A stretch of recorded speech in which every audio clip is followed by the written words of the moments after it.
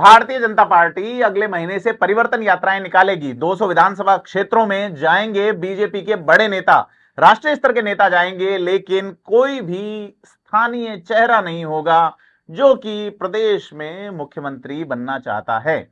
ऐसा साफ़ लग रहा है कि बीजेपी के जो चुनाव प्रबंधन समिति के अध्यक्ष हैं, नारायण पंचारिया, संयोजक हैं।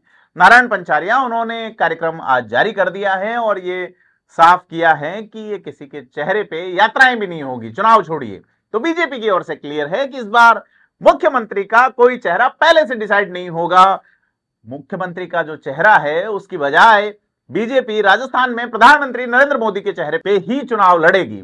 सीधे तौर पे नारायण पंचारिया ने जो रूट तय किया है, उसमें कहा है कि 2 सितंबर को यह यात्रा सवाई माधोपुर के त्रिनेत्र मंदिर से शुरू होगी। राजस्थान के चार कोनों में यात्राएँ चार जगह से शुरू होगी और आठ हज़ार नौ सौ बारानवे किलोमीटर टोटल 200 विधानसभा क्षेत्रों में ये यात्राएँ जाएँगी और इन यात्राओं में सीधे तौर पर बीजेपी और कमल निशान ही प्रमुख रहेगा। किसी भी व्यक्ति को इस बार चेहरा बनाकर, स्थानीय व्यक्ति को चेहरा बना के ये यात्राएँ नहीं निकाली जाएगी। बीजेपी ने साफ़ कर दिया है कि पहले से चेहरा डिसाइड नहीं होगा। ऐसे में देखना है कि बीजेपी में और क्या रंग सामने आते हैं?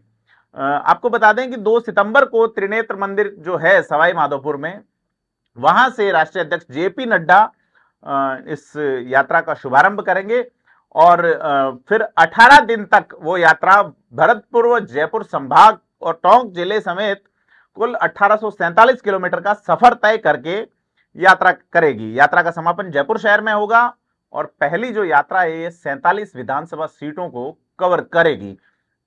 इसी के साथ दूसरी यात्रा शुरू होगी बेणेश्वर धाम से तीन सितंबर को और इस यात्रा का आगाज़ करेंगे गृह और सहकारिता मंत्री अमित शाह। अमित शाह के नेतृत्व में शुरू होने वाली इस यात्रा आ, का 19 दिन तक अलग अलग पड़ाव होते हुए 2433 किलोमीटर का सफ़र रहेगा और बावन विधानसभा सीटों को यह यात्रा कवर करेगी।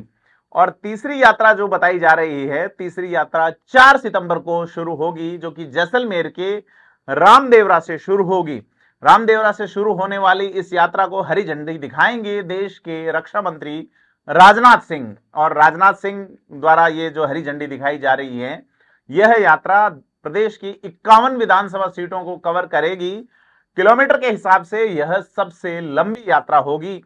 यह यात्रा 2574 किलोमीटर का सफ़र तय करेगी। चौथी जो यात्रा है, वो गोगामेडी से शुरू होगी। गोगामेडी, जो कि उत्तर में स्थित एक प्रमुख आस्था का केंद्र है, पाँच सितंबर से यात्रा शुरू होगी और इसका आगाज़ करेंगे केंद्रीय मंत्री नितिन गडकरी।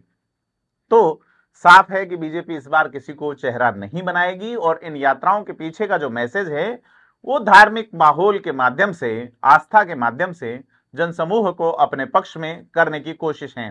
गोगा मेडी एक प्रमुख आस्था का केंद्र है, जो गोगादेव चौहान है। वो हिंदुओं और मुसलमानों के साथ साथ सिखों में भी बहुत गुग्गा पीर के रूप में पहचाने जाते हैं। हर जाति, वर्ग और धर्म से इतर उनकी पूजा होती है। साथ ही जो पश्चिमी राजस्थान है, वहाँ के पीर जो रामदेव जी जो रहे हैं, वो प्रसिद्ध लोक देवता हैं और वहाँ से जो ये यात्रा शुरू होगी यह भी धर्म और जाति और ये जो संप्रदायवाद है इससे इतर यह मैसेज देते रहे हैं एक सद्भाव का प्रतीक रूप में इन लोक देवताओं को माना जाता है, दोनों ही को।